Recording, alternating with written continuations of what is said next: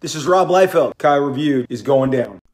Hey guys, we got our first look here at Baron Zemo from Falcon and Winter Soldier, the Disney Plus streaming service show from Marvel Studios.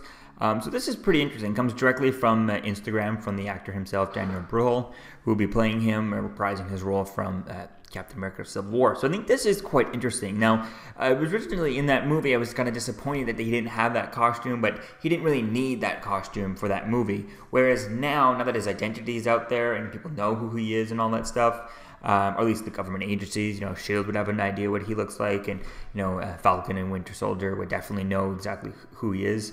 Um, you know, I think that's good. Would, would definitely recognize him and stuff. So I think it's going to be quite interesting to see this. And I think this photo here looks really good. I love how it's kind of very blurry and stuff, and it looks very much like a you know a, a message on on the screen. It reminds me slightly like the um, the image of uh, uh, from Man of Steel actually when Zod was on screen, you know, trying to take over the airwaves. So I think this could be something like that. Maybe he's trying to take over the the t- TV waves or whatever, trying to get this on multiple screens or on someone's specific screens and stuff.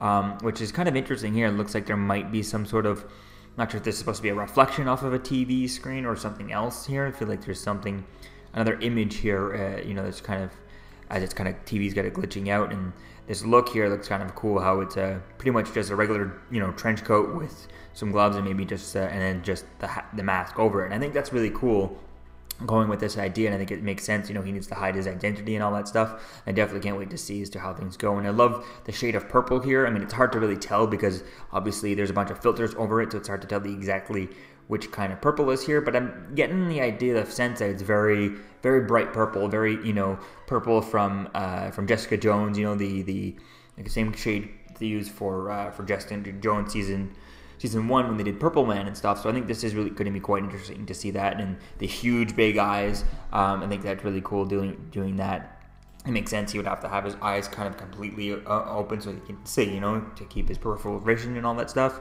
So I definitely can't wait to see as to where things kind of go with this. And this gets me excited that they potentially should be start shooting at some point, and we'll get some set photos to kind of talk about from that. Hopefully, we get a you know set photo to show to show uh, off more of how he looks in costume. So let me know what you think, guys, about this photo in the comments below. Are you excited for this series?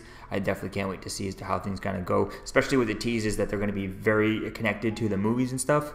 Um, you know, they announced that uh, WandaVision will lead, will connect to uh, to Doctor Strange and the, into the the multiverse of madness, and then will also star, uh, you know, Scarlet Witch will be in that show. Then she'll also be in the movie. So I think that could be something interesting to play with to see as to what this could set up and how this kind of shapes up the MCU. And I think this could be a really interesting show.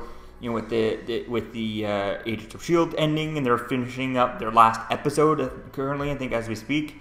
Uh, so I think by the time this starts actually shooting, they could bring some of those characters in there to bring just for background actors. You know, if you have any background Shield characters, whether it's written to be you know Skye and all them or not, no, who who cares? Put them in the background, bring Coulson back into the background. I think it could be quite cool setting something like that up. Um, but at least maybe having Nick Fury in there, I think it could be quite cool seeing as to how things kind of kick off the show and how things kind of go from here. So let me know what you think, guys, about this in the comments below. Are you excited for this look of Zemo? What do you want to see him do in this show? And uh, I'll see you guys in the next video. Peace out. We're here for Kyle Reviewed on YouTube, the very best Kyle Reviewed channel on all the YouTube Kyle Reviewed channels. You got that? You got that right? Thank you for watching Kyle Reviewed. Deadpool and I thought it was fantastic. You need to like, you need to subscribe. You know how it's done? Like, subscribe. Right, DP? All right, Kyle Reviewed. Cool channel.